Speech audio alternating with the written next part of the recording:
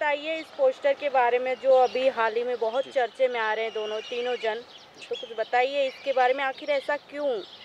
देखिए सबसे पहले तो मैं सैल्यूट करना चाहता हूँ इन लोगों की जो इन लोग जो इन लोगों का दिमाग को एक्चुअली जो लोग जो अपना माइंड सेट है इन लोगों का जो दिमाग यूज़ करते हैं उमर रियाज आसिम रियाज अली गोनी इन तीनों के पास कुछ काम नहीं है। तो अब ये उम्र को यूज़ करके और उसके लिए पब्लिसिटी कर रहा है मीडिया कवरेज के लिए इन्होंने उम्र पे जा रहे हैं ये लोग इनके पास कुछ काम नहीं है।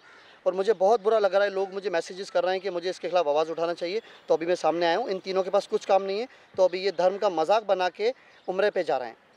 तो सर ये क्या पहली बार ऐसा हुआ कि कोई सेलिब्रिटी ऐसा कर रहा है अपने? राइट देखिए मेरी नज़र में तो ये सेलिब्रिटी है नहीं।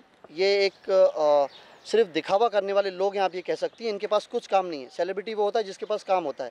अभी उम्र जैसी पाक पवित्र जगह को ये लोग यूज़ कर रहे हैं। एहराम की इंसल्ट कर रहे हैं जो हमारे यहाँ इतना पाक पवित्र बताया गया है। देखिए, कोई भी धर्म का अगर कपड़े होते हैं, अगर हिंदू समाज का भी है तो हिंदू कम्युनिटी देखती है कि भाई हिंदू, आप ऑरेंज कलर का ड्रेस अगर कोई हिंदू पहना है तो उसकी रिस्पेक्ट करते हैं, हम भी रिस्पेक्ट करते हैं। बट एहराम को घर से पहन के जा रहे हैं, जिसकी एंट्री सिर्फ़ मक्के मदीने में होती है। मक्के मदीने में आपको एहराम पहन के जाना चाहिए अंदर। वो उसकी मैंडेटरी उन लोगों ने कहा है मैंडेटरी सऊदी अरेबिया के लोगों ने कहा है। बट ये घर से पहन के जा रहे हैं हैराम, सिर्फ़ मीडिया कवरेज के लिए और लोगों को देखिए क्या कमेंट्स कर रहे हैं लोग। सिर्फ़ इनको बुरा भला कह रहे हैं कि ये हो क्या रहा है ये। सिर्फ़ मज़ाक बना के रखा है इन्होंने उम्र का इसके प्रोटेस्ट के लिए मैं आज लोखंडवाला आया हूँ। तो सर, आप कुछ ऐसा मैसेज देना चाहेंगे मोमेडियन कमेटी को कि ऐसा दोबारा कोई और ना करे? कुछ ऐसा आपके लिए उनके लिए ऑफकोर्स देना चाहूँगा चाहूँगा और मुस्लिम कम्युनिटी तो पूरा मेरे साथ है ही। मैं खुद मुस्लिम हूँ लोग मुझे मैसेज कर रहे हैं। मैं उन्हीं की आवाज़ बन के सामने आया हूँ फैज़ान अंसारी। आज पूरे मुसलमानों की आवाज़ बन के सामने आया है। इन लोग के अगेंस्ट और अब इन इनको तो इसके खिलाफ एक्स्ट्रा हम लोग ले ही रहे हैं एक्शन उमर रियाज अली उमर रियाज आसिम रियाज और अली गुनी के अगेंस्ट हम लोग एक्शन ले ही रहे हैं। इनको पूरे मुस्लिम समाज से माफ़ी मांगना पड़ेगी पूरे मीडिया के सामने आप लोगों के सामने इन सबको माफ़ी मांगना पड़ेगी। ये हमारा आ, हमारी रिक्वेस्ट है। तो सर आपका क्या एक्सपेक्टेशन है मुसलमान कमेटी से? कि वो अगर हज करने जाए तो किस रूप में जाए कि लोगों को एक अच्छा मैसेज देखिए मुस्लिम कम्युनिटी में क्लियर बताया गया है कि आप लोगों को ऐसा करना है। अगर राइट हैंड से आप कुछ कर रहे हैं तो आपके लेफ़्ट हैंड को पता नहीं होना चाहिए। ये मुस्लिम कम्युनिटी का पहला रूल है। और ये लोग तो घर से ही एहराम पहन के जा रहे हैं। पूरे बॉम्बे में मज़ाक बना रहे हैं पूरी दुनिया में मज़ाक बना रहे हैं मुसलमानों का। ये सिर्फ़ कश्मीरी कर सकते हैं और इन कश्मीरियों को वापस मुंबई से वापस जाना पड़ेगा। ये मेरी महाराष्ट्र गवर्नमेंट से भी रिक्वेस्ट है। मिस्टर एक शिंदे जी जो चीफ मिनिस्टर है महाराष्ट्र के उनसे मेरी रिक्वेस्ट है कि इनके अगेंस्ट ऐसा एक्शन लें कि कश्मीरी यहाँ से जाएँ। ये दिन ब दिन यहाँ का माहौल ख़राब कर रहे हैं, जिससे आगे फ्यूचर में बहुत प्रॉब्लम हो सकती है।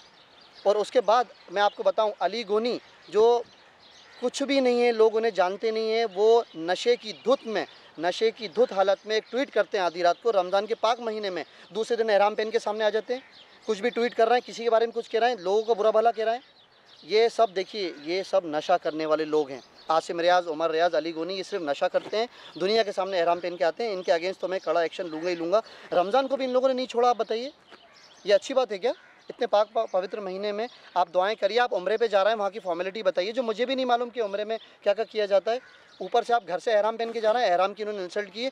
इन्हें पूरे सऊदी अरेबिया से, पूरे इंडियन मुस्लिम से, पूरी दुनिया से माफ़ी मांगना पड़ेगी। और मेरी गवर्नमेंट से बार बार रिक्वेस्ट है कि जल्द से जल्द इन्हें कश्मीर छोड़ना, इन्हें मुंबई छोड़ना ही पड़ेगा, कश्मीर वापस जाना पड़ेगा। ये कश्मीरी मुंबई में कर क्या रहे हैं आप मुझे बताइए। यहाँ लोगों की कमी है क्या? यहाँ रोज़गार की कमी है क्या?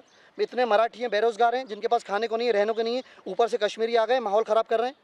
तो आप लोगों से रिक्वेस्ट है मेरी कि आप लोगों के थ्रू ये बात दुनिया के कोने कोने में जाए नेशनल न्यूज़ बने। सो आप सर आप एक आखिरी बार क्या मैसेज देना चाहते हैं मोमेडियन कमेटी को? मैं ये मैसेज देना चाहता हूँ कि ये आसिम रियाज उमर रियाज और अली गोनी तीनों तीनों लोग जो हैं दो तो भाई हैं एक अली गोनी ये तीनों चोर हैं ये कश्मीरी हैं मुंबई में माहौल ख़राब कर रहे हैं पिछले लास्ट ईयर भी मेरी उमर रियाज के साथ काफ़ी प्रॉब्लम हुई थी इसी चीज़ को लेके। इन्होंने कुछ ऐसी हरकतें करी थी वो आप अगर न्यूज़ आर्टिकल देखेंगे देखेंगे। इस बार फिर इन्होंने किया है मतलब ये इन लोगों की आदत है। इन कश्मीरियों को मुंबई से वापस जाना पड़ेगा नहीं तो ये फैज़ान अंसर ये लड़ाई नहीं छोड़ेगा ताकि चाहे इसका कुछ भी अंजाम हो। Thank you thank you so much thank you